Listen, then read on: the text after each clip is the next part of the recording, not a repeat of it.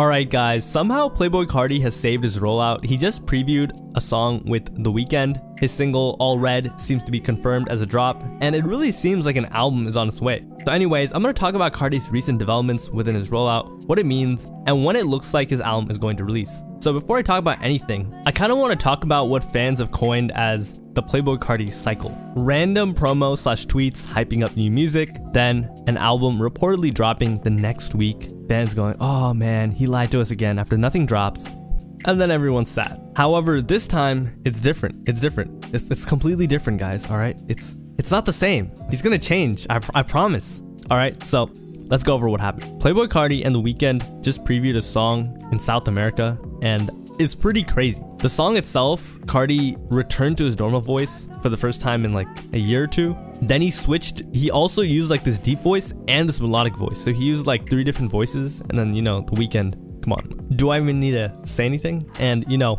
of course, fans were super excited. But this isn't the first sign of Playboi Carti and The Weeknd uh, being close. First of all, XO has been fucking with Playboi Carti for a while. XO is like The Weeknd's group slash label, like Nav is a part of XO, etc. They both performed with like interesting fits on, be real with you. And recently, Carti even gifted The Weeknd a double low XO chain, so like an Opium X XO chain. And by the way, there's also another thing that's kind of interesting about this. Drake fans got butthurt. If you don't know, Drake previewed a song with Playboi Carti called No Face. In it, Playboi Carti was technically featured, but he just said an ad lib like three times, and Drake and his team labeled it as a feature. However, when the song dropped to streaming platforms, Carti was no longer featured, and those like ad libs that were technically the feature. No vice.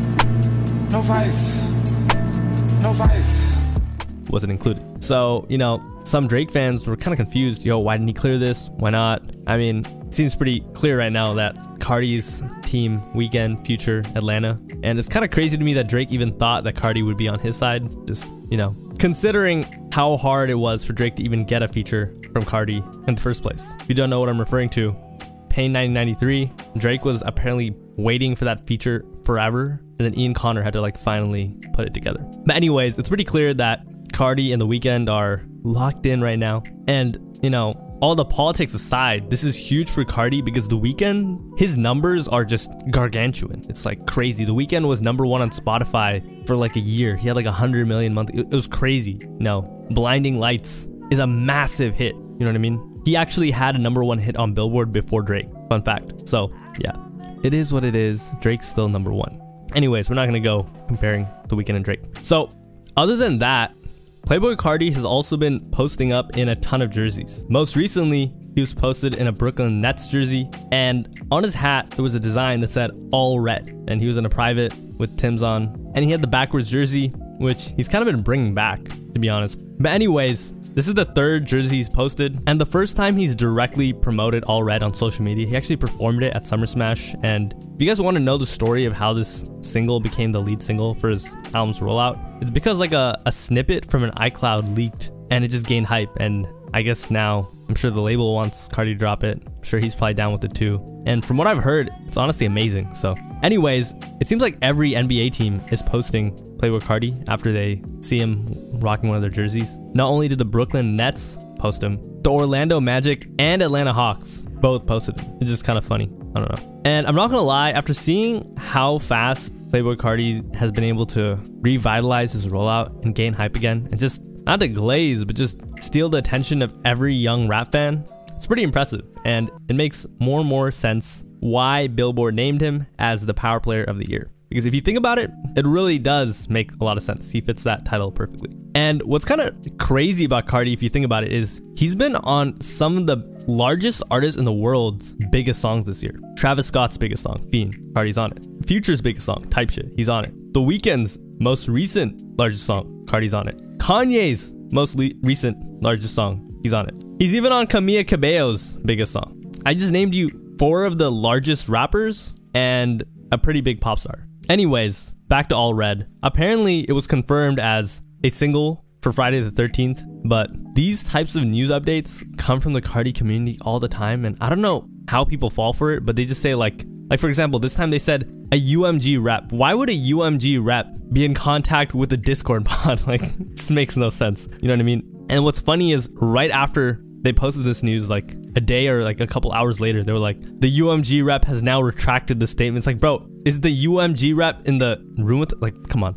But to be honest, I really should have known, or we all really should have known that the rollout would be fine. I mean, when he went to Brazil to perform with The Weeknd, a fan broke into his hotel in Brazil and spoke with like some of his groupies. So, you know, people go crazy over Carti. Um, but of course, I'm sure you also are wondering when will the album most likely drop? And it looks like the album will probably drop the same time as Whole Lotta Red, December. I think that it's really smart for Carti to hype this up because I feel like with Whole Lotta Red, not having a single, it was good for the surprise factor because, you know, well, technically he dropped @ MEH. Everyone thought, oh, Whole Lotta Red's about to drop, and then nothing happened for like nine months. Hopefully that doesn't happen again. It was really good because it kept fans on their toes all the way until the album released. But I think if you have a snippet like All Red that fans are feeding for, it's a song that will probably do well commercially as well. And then factor in the fact that lead singles really push album sales. It's just a smart move. The thing is, how far is he going to leave that buffer between a lead single and an album? By the way, I'm just saying as if All Red is going to drop. It seems like All Red is going to drop September 13th. But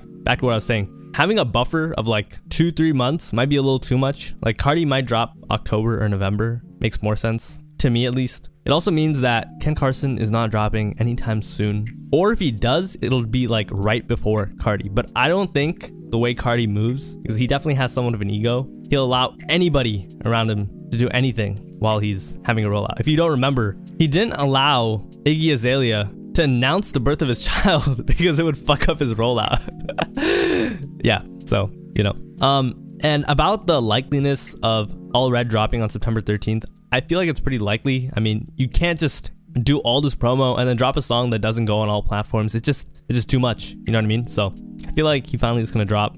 There was also this other piece of news that was being shared online that Future was dropping another tape called Mixtape Pluto, and it actually got pushed back because Carti was dropping All Red on that date. Another thing to keep in mind is both Drake and Kendrick Lamar seem to be gearing up to drop a project, and they're huge artists, so Carti has to find like a pocket or a window for him to drop. Not saying that his listeners are going to compete with Drake or Kendrick, but it's kind of just like a label promotion thing. Like, you know, it's going to be tough for his album to get that type of push if two massive rap acts drop at the same time or around the same time. There's no way they all drop on the same week or either of them. That makes sense. So, anyways, thanks for watching. Let me know what you think. These are just my thoughts on how Playboi Carti saved his rollout in the fourth quarter. All right, take care. Bye. Have a nice day. Wait, why did I? Yeah, I don't know why I keep doing this. Like, I'll say bye and then like have a nice day, and then I'll say something else, and then I'll repeat it, and then I'll say something else, and I'll repeat it. It's just like, all right, see you guys.